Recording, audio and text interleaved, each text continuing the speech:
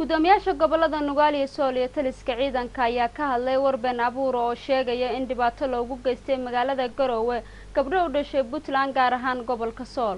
Warkani waxaa noo faahfaahinaysa waryahayaga suweyska cayte shir jaraa-id oo ay si wada jira ugu qabteen magaalada garoowe caasimada dowladda puntland gudoomiyaha gobolka nugaal gudoomiyaha gobolka sool iyo taliyaha qeybta gobolka nugaal ayaa ka hadlay arrimo dhowra oo ay ka mid yihiin xaalada gobolka sool iyo hadal ka soo yeeray oo ay warbaahinta ka sheegeen kooxda maleeshiyaadka habowsan ee hargeysa oo haatan awoodoodu isugu soo ururtay isku dirka shacabka iyo jajuubka dilka dadka reer sool ee puntland. Maamulka nafla caariga ee hargeysa ayaa muddooyinkan ku howlanaa qafaalasho iyo caburinta dadka reer puntland ee ku dhaqan magaalada laascaanood iyagoo afduub u geystay gabdho reer puntland oo tegay magaalada laascaano si ay isaga horkeenaan shacabka reer puntland. Balse taasi uma suuragelin iyadoo taasi ay ka turjumayso fashilka iyo siyaasad xumada haysata maamulka jeegaanta taliyaha qeybta gobolka nugaal faarax cabdiraxmaan warsame galangooli ayaa ka warbixiyey sida ay wax u dhaceen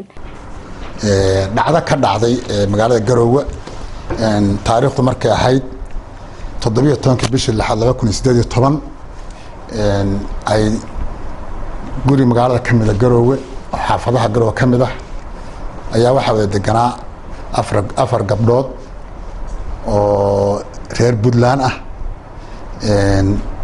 Gurigaas hadday deganaayeenna gabdhihii xoogaa waxaa ka dhacay way dagaalameen waxbay isku qabteen gabdhihii markay dagaalameenna waa dhacay saddex gabdhood ayaa dhaawacmay. Saddexdii gabdhood oo dhaawacmayna waxaanu nidhi rifeertaa la siiyey waxaa la geeyey isbitaalka in lagu daweeyo.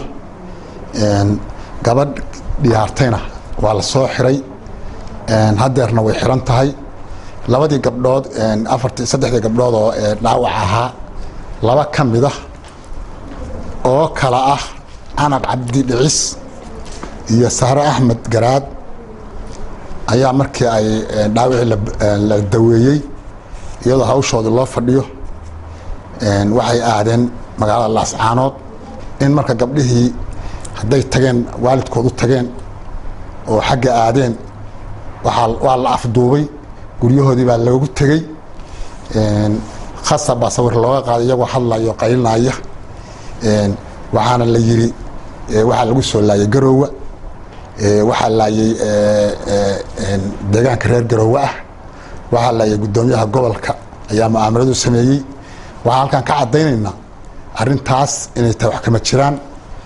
Hadde waxaa la nin daad qaaday xubaa cuskay baa la yiri gudoomiyaha gobolka sool abuubakar cabdiraxmaan geele ayaa siyaasiyiinta ka soo jeeda gobolka sool oo uu sheegay inay yihiin horjoogayaal una shaqeeya maamulka maleeshiyaadka hargeysa inay isaga soo baxaan maadaama uu dhammaaday wakhtigii dadka gobollada sool sanaag iyo cayn la afduuban jiray. Wargabadan waxaan leeyahay warquuso iyo kuwii somalilan haystay baa quusa soomaalidiidka haystay baa quusa oo gobolka sool ka quustay.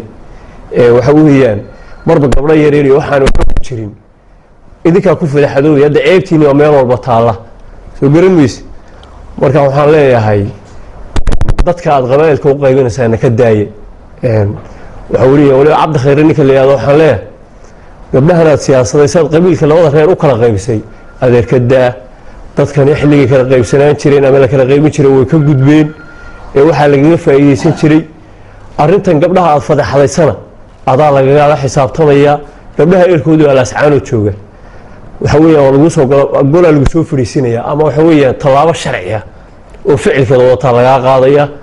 Gudoomiyaha gobolka nugaal cumar cabdulaahi faraweyne ayaa sheegay in jeegaantu jabkeeda qarsan weyday ayna hadda tabartoodii noqotay warbaahin in ay ka hadaaqaan iyo in ay shacabka qeybna laayaan qeybna xidhxidhaan balse taas beddelkeeda ay kala kulmi doonaan cawaaqib xumo.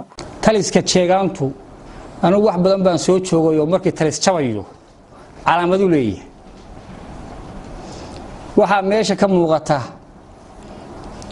jabkii taliska jeegaanta iyo qoladii horgallada ahayd. Waana la wada ogsoon yahayoo hadda xagala geel wax guntiga la qariyaa ka weyn. Waad ogtihiin magaalada laascaanood oo xoogga lagu haysto oo dadka lagu dhibaateeyey reer puntland lagu dhibaateeyey oo iswadaagga ah waxaa ka bilowday kacdoon saxaafaddu ama dadka soomaalida jecel ugu magac dareen duufaanka buluugga. Waxaa maahmaah soomaaliyeed ahayd haddii malag dhawaaqayo miidaan dhagama leh. Waxaan rajaynaynaa mar aanu fogeyn insha allahu tacaala inaanu ka qaadno waxa ay sitaan iyagana aanu waajibaadkooda ka waraabino laakiin waxaan ballan qaadaynaa inaanaan mar rabaa ku daamo doona haddii alla idmo mar dhow waa inu dul joognaa ama cumar faraweyna gabdhalaayo dhahaya ama waxa weeye ama meel kale ku wareego muddo wuxuu ohan jiray waa taleex muddo waa inoo laascaanood weeye haddii alla idmo. Suweyska cayte warbaahinta dowladda magaalada garoowe